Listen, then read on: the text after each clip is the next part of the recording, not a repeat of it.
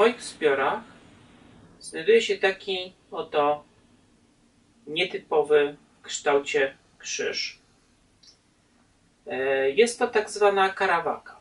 E, po raz pierwszy widziałem taki zwiedzając Muzeum Diecezjalne w Sandomierzu.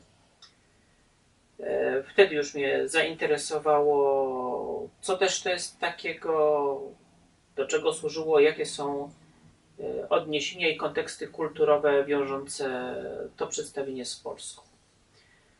Jeśli Państwo pojadą na wieś, na Mazowsze, na Podlasie, zobaczą Państwo często stare drewniane krzyże z taką właśnie podwójną belką. Ludność miejscowa powie, że jest to krzyż choleryczny. Zazwyczaj jakoś tam się będzie kołatało w świadomości, że postawiony w czasie jakiejś tam zarazy. Te krzyże mają genezę XVIII-wieczną, XIX-wieczną. Te w XVIII wieku związane są z ostatnimi falami dżumy, która przeszła przez nasz kraj. Te XIX-wieczne właśnie bardziej z epidemiami cholery. Skąd wzięła się taka nietypowa forma tego krzyża?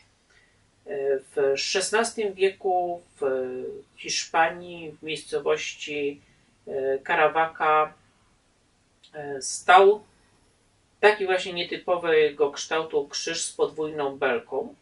Gdy wybuchła zaraza, epidemia dżumy, mieszkańcy chodzili po ten krzyż się modlić i bardzo szybko poszła fama, że ten, kto się modli pod tym krzyżem, zostaje uzdrowiony. Kościół katolicki sprawą się zainteresował, zbadano relacje z dokonanych cudów, po czym zatwierdzono i w XVI wieku Wzór tego krzyża z Karawaki posłużył wiernym do ochrony przed kolejnymi falami zarazy. Kościół dopuścił noszenie tych krzyży w formie e, medalików ochronnych na szyi, dopuścił wieszanie ich w domach. Najczęściej wieszano je po wewnętrznej stronie nad drzwiami. E, mój akurat egzemplarz e, kupiony na Allegro E, prawdopodobnie jest odlewem z drugiej połowy XIX wieku, wykonanym w brązie albo w jakiejś ciemniejszej trochę odmianie mosiądzu. No powiem tak, no nie spodziewałem się, szczerze powiedziawszy, że kiedykolwiek mi się to do czegokolwiek przyda. Nabyłem to w zasadzie z myślą o tym, żeby umieścić to na ekspozycji w moich rodzinnych Wojsławicach Wojsyce były wielokrotnie nawiedzane przez zarazy i w XVI wieku, i w XVII wieku, i w XVIII. Jak się patrzy na kronikę klęsk elementarnych, to tych zaraz jest tam aż czerwono. Leżało to sobie w pudełku, czekało aż stworzymy ekspozycję, a tutaj nic z kruchy, nic pietruchy. Nagle się okazało, że mamy światową pandemię koronawirusa. No więc cóż, no, wyciągnąłem i powiesiłem w domu. Jeszcze tak na zakończenie przeczytam fragmencik z encyklopedii staropolskiej Glogera, co on pisze o karawakach. Karawaka, karawika.